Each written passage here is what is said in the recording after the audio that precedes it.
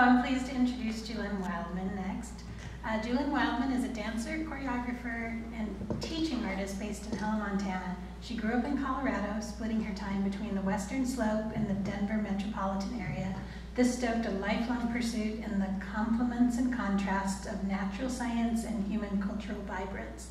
Julynn graduated cum laude from Bard College at Simon's Rock in 2013 with a BA in cross-cultural relations and dance. She pursued coursework in interdisciplinary art and media at Columbia Col College Chicago before relocating to Helena for a tenure with AmeriCorps, serving at ExplorationWorks Science Center. In 2020, Julynn received a fellowship through Intrepid Credit Union and the Holter Museum of Art to create Body in Motion, a dance film and immersive installation exploring evolutionary biology and comparative anatomy. As a performer, Julynn has danced on many stages and sites throughout Montana, notably as a soloist in cohesion, cohesion dance projects Nutcracker on the Rocks.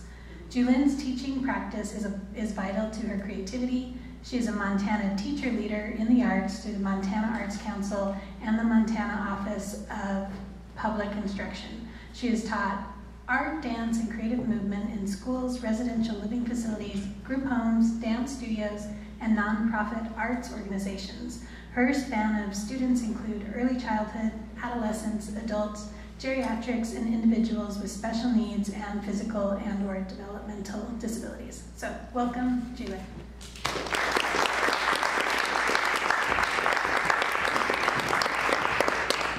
Thanks, Kelly. Um, thank you for going first, Jesse, and thank you, Stony. Doug and everybody at the lab. Um, this has been a really amazing four and a half weeks. Four and a half weeks. Um, anyway, I was I my first note is to give you a little bit of background about who I am, but Kelly already did that really, really wonderfully. Um, so I just want to hop into, I'm going to talk a little bit about my practice in general and then about what I have done over the course of this residency. Um, a lot of my practice is based a lot on embodiment, which I think is a word that gets thrown out quite a bit um, without a lot of thought. But I do really think of it as like very deliberately exploring your experience of having a body, and I think it's a really great way to kind of get in touch with yourself and with others and with the world around you. Um, as a teacher, I find that it's a really useful tool for building empathy um, and like just skills of how to think about other people, other organisms, other things. Um, so I kind of, I put together, let's see if I can I put together this graphic kind of of, of my, my practice as um, balancing embodied research and academic research. And as anybody who has ever researched anything knows, um, you never actually conclude the research. You just find new questions that you then want to research and get really stoked on. So I've got this circle of embodied research that involves a lot of moving in the studios or leading workshops or leading classes and reflecting um, back to questions and back to movement. And then academic research, I feel I, I really love um, just kind of like consumer media in the sense of like documentaries and podcasts and, and ways that people try to make science writing accessible um, and then dumping off that into kind of peer-reviewed journals or scientific papers, having the opportunity to be at the lab and actually talk with people whose research is focused um, specifically in these areas has been really, really fantastic.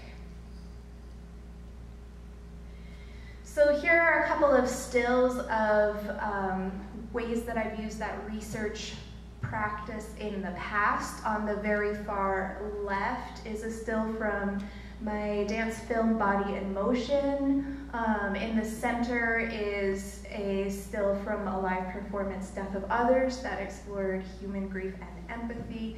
And then on the far right is a workshop that I led with the Helena Middle Schools about human migration.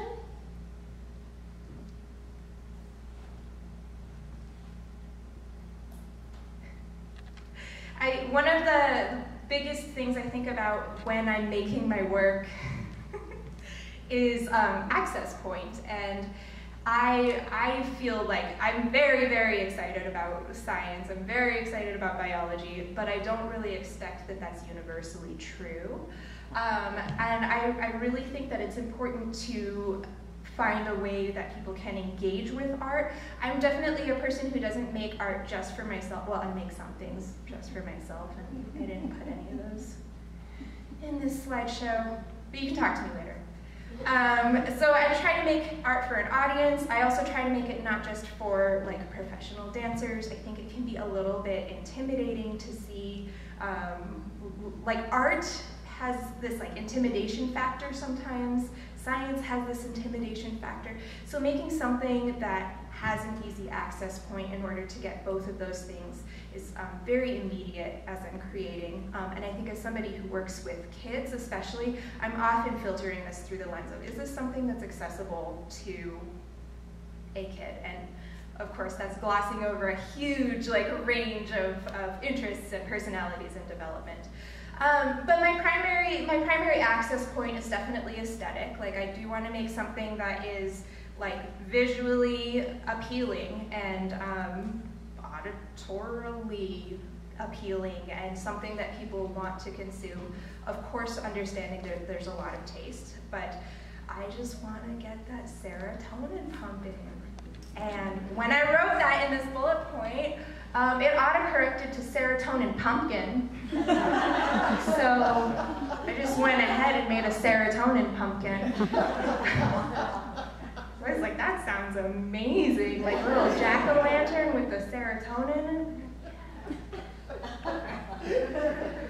Which is kind of my next access point is humor. Um, I think it's a really great way to talk about serious things. I think it's it's a really good way to get people on the same level. Um, I, I think when you don't take yourself too seriously, other people don't have to take you too seriously, there's, um, there's a lot of really good conversation that can happen. Uh, I also use narrative and elements of narrative. Not all of my work is story based, but I definitely use character and elements of plot and action and, and narrative to give something to hold on to. Um, I also do a lot of classes and outreach. Often it's, it's purely selfish. it helps me to be able to bring something to a group of people and present things that I'm interested in and kind of get feedback about what is interesting to other people, what is resonating, how are people interpreting research in a different way or in a complementary way. Um, and then the last point is um, my materiality. I really like using recycled material. Um, I like using easily accessible material. I think um, art shouldn't have to be expensive to create. I think like if you want to go for those like awesome supplies, they're more power to you, but it shouldn't be a prerequisite to creating. So I try to reflect that in my work. Um, these little critters down here are made out of toilet paper tubes. So um, as I was going through my notebook and trying to figure out um, how to relate what my general practice is to this experience of um, open air, I, I just like, I saw all of these sketches and crazy ideas and I did like a little bit of a, a crazy move. Um, just really briefly, Jesse was able to dive pretty deeply into the research at the lab right now of the rhinoceros beetles, and I got like so excited. They currently have the insects from the Missoula Butterfly House and Insectarium, so just go into this room and there's all of these like funky creatures that you wouldn't believe existed if you didn't see them. Um, there are several graduate students who are doing various work, like Roman is doing work on stick insects, and Kania is doing work with genetics, and Sophie's doing work with the rhino beetles, so just being able to talk to people who are like passionate experts in their field is really exciting. Um, and then of course Doug has like an extensive amount of research about animal weapons and animal structures and just like, again, very seemingly outlandish things until you you've seen them. So here's just a rapid fire of ideas that I found in my notebook over the past four and a half weeks. Beetle homunculus, so like a map of a beetle according to how its brain maps it. Uh, Beetle maracas, Beetle Tinder, Beetle Maury Povich show, tactile sound armor, so like something you could put on and you could like feel sound. Record the sound of a millipede on a drum, double bass cubby that you can sit in. Here's a little illustration of a dance-off. So it's a series of dance battles that get increasingly complex and showy, and it demonstrates competitive strategy. So, you know, the better dancer wins, and then they both are doing the better dance, and then that, oh, the next one has a better costume, and then the next one is crazier, and then uh, I guess there's confetti. That one gets eaten. Oh no, oh no. Um, a sixth arm, a wearable that connects another set of arms via a puppet string apparatus so that you can have six arms like a bug. A trapdoor jaw that's wearable um, and it snaps shut when you bite down on the lever. There's the, there's the jaw. A chair dance, which is again a dance off, dance battle, um, where the dancers use various sizes of chairs to signify weapon size. Um, spoiler, the biggest chair wins, but other spoiler, the people with the smaller chairs sneak in the side. Woo, silk and pheromone. I, this one's a little bit uh, tricky to explain. So one dancer kind of walks around like trailing a scarf, kind of like Ariadne leading to the Minotaur style. Other dancers are not looking and they kind of pull on the scarf and then they Lady and the Tramp meet in the middle. Knights who joust in beetle armor, a beetle soap opera, um, mythologies that are recreated with animal namesakes, uh, so like a Hercules beetle that slays a Nemean lion, and a Hercules beetle that fights a sea hydra.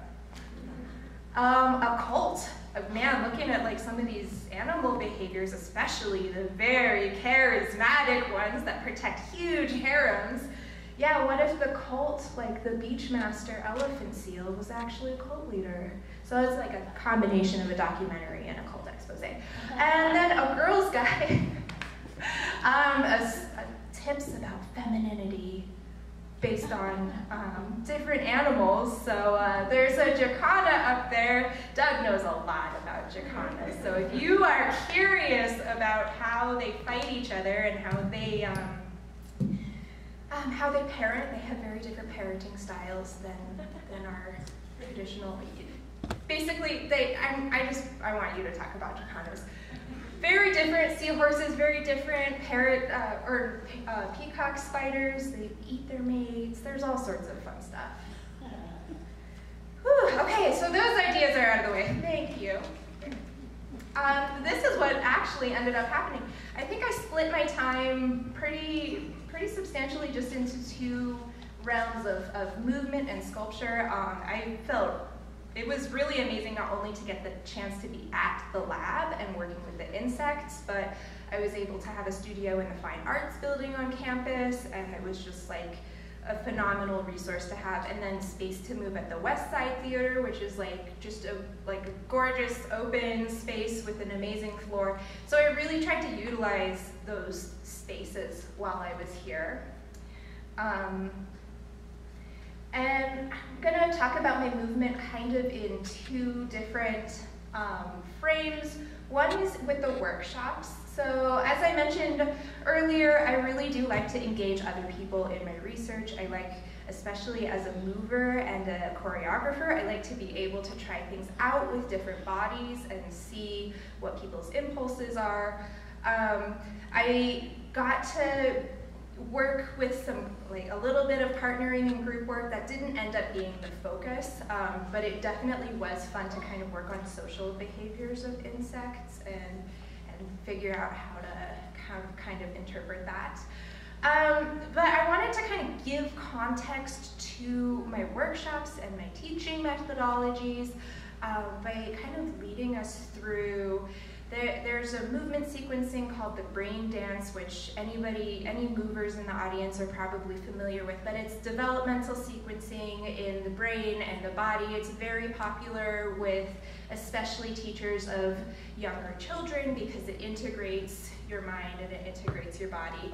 And as I was starting to do these workshops and learning more about bugs, I was like, oh my gosh, I never felt more self-conscious about being a vertebrate until like, how? So it starts with the breath, with breathing and centering and oxygenating your whole blood supply.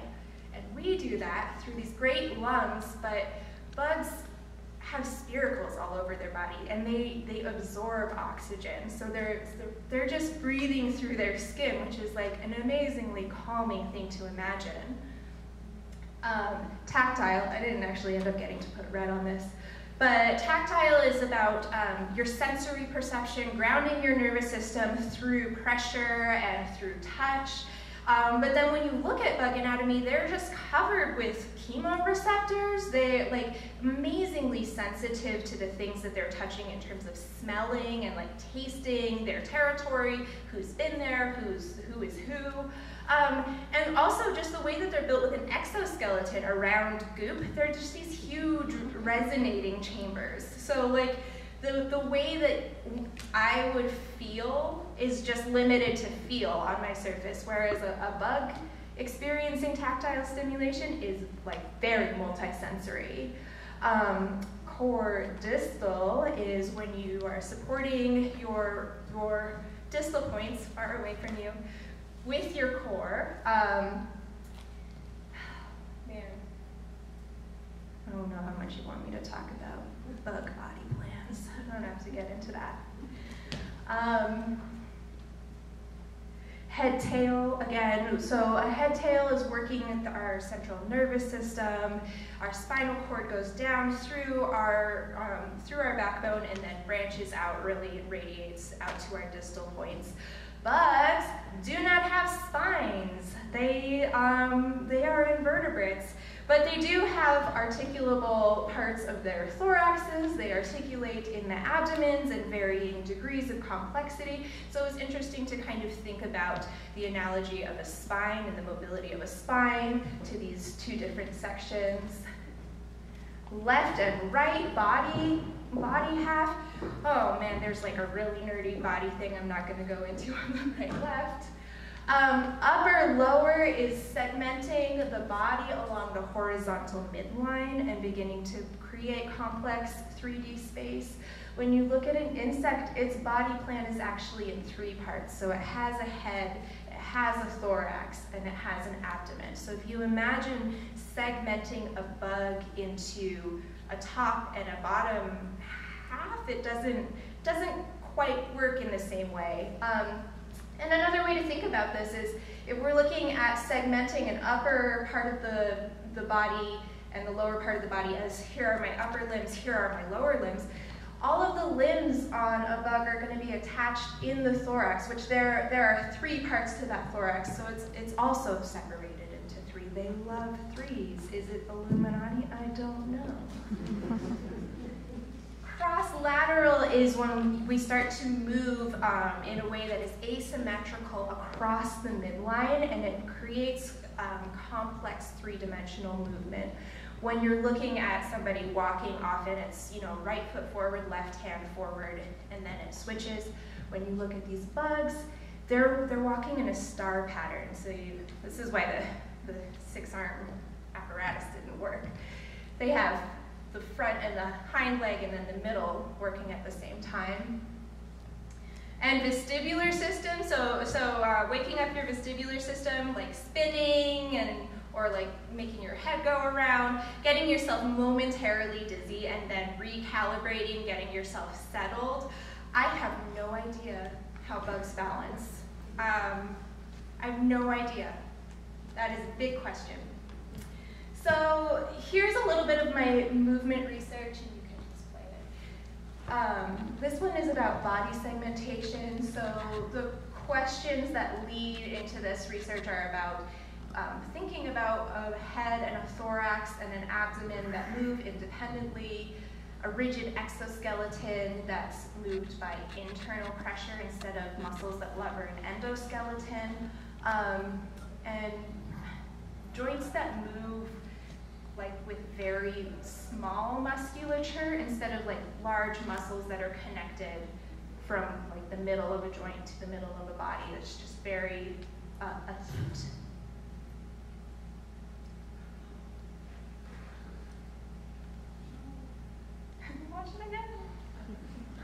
Um, as I was playing with the insects, it's very, it's very good. You'll just have to imagine it. um, I, basically, I was thinking about how, you know bugs that just walk on the ceiling. What? I didn't get to walk on the ceiling, but I got to I got to play on the wall. We could just go to the next one. Um, leaf bugs, I ended up doing a lot of leaf bug movement. Um, if you if you look at a leaf bug, if you ever have an opportunity to look at a leaf bug, they kind of like stagger around. They look like they're drunk. They look like they need to be cut off. and and really it's because their bodies camouflage as leaves, but also their behavior is camouflaging to like a leaf canopy. So if you have this straight linear movement in like a crazy jumble of leaves, it's very easy to spot. Whereas if you have a little trunk leaf insect kind of just stumbling around. So my movement score um, was a lot about how to use indirect pathway and retrograde and swaying on an axis to, to kind of replicate that. Um, and then I ended up doing a lot of work with film and overlay. Um, the leaf insects, they're just like this really magnificent green that kind of reminded me of like a green screen. Um, and I was like, oh, I wonder if that works. And kind of, it kind of did. So I mean, we're just, there's a couple of experiments. There's there's definitely a lot of different aesthetics that I'm playing with here.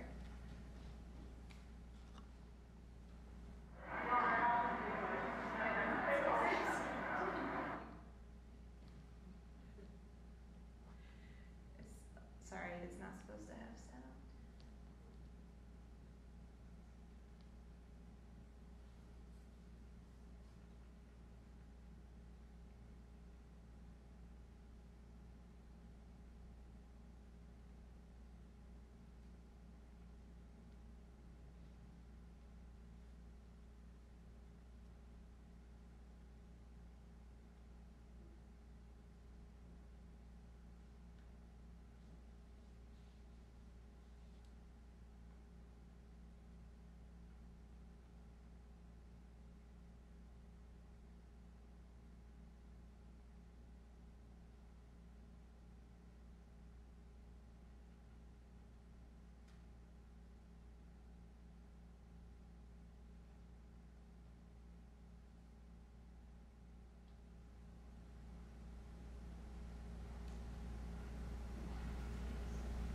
Um, so that was the first one where I tried to layer movement inspired by a leaf bug with an actual leaf bug.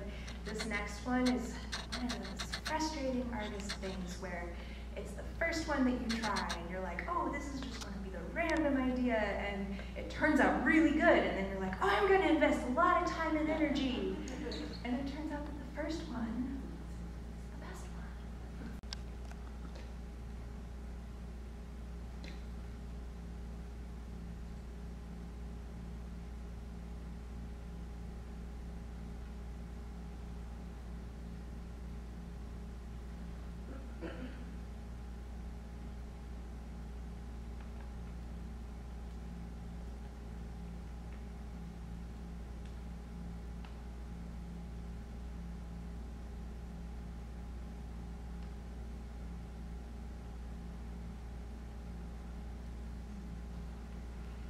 Um, and then this one is like a beginning to play with different video effects, I guess.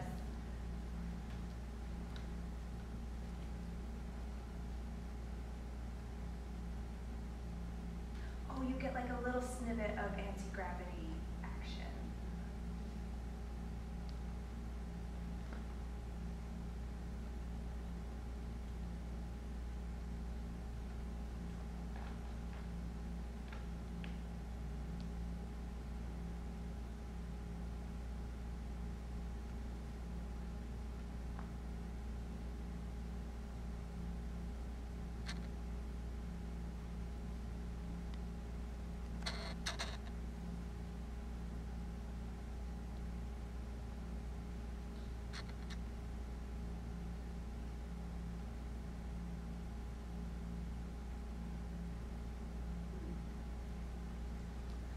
this might this one has that the sound.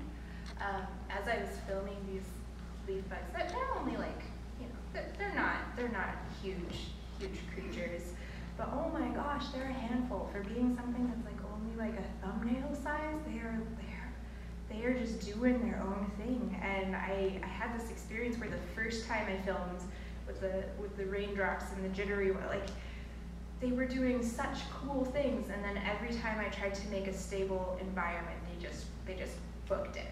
They're just like, nope. Or they were totally still. Like there was no there was no interesting in between like jittery movement. They're just like either not gonna move or just going. So I had um I had named one of the video clips that I got Fast and Furious. There was another one, but Fast and Furious 2. And I was like, well, we should just uh, do that. So. It's time for the week to go home. Do it fast, do it furious. Go!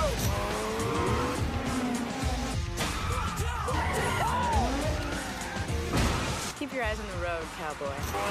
Making you nervous?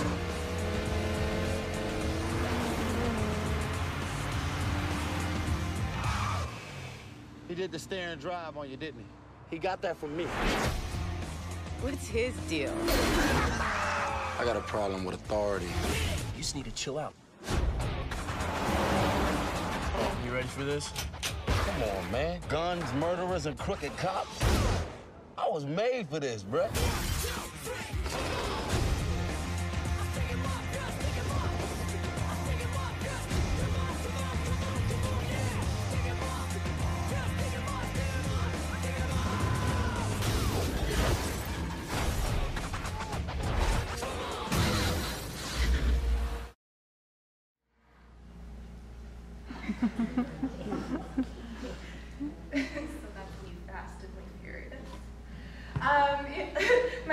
Like little tangent is about the sculptural stuff that I have been working on. Um, so I, I in reading Doug's books, um, was kind of struck with this analogy, like there are so many people who are, I mean, rightfully very like awestruck by like these huge bucks or like huge bull moose that have like great big paddles. Um, but if you look at the percentage of how much weight and what that size is to their body, it's it's nothing compared to some of these insects and some of these beetles. So I was like, what if you visualized that and made that human sized?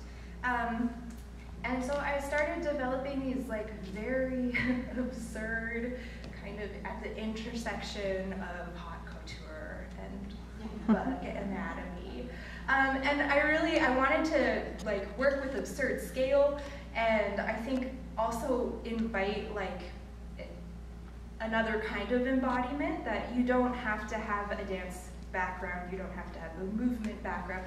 You don't even have to wear them. Like you can you can look at them and look at them on a human figurine and then our human brains because they just are magically imaginative like that have like these mirror neurons that go, "Oh my gosh, I can somewhat imagine what it would be like to have that on my body and how cumbersome and ridiculous that would be."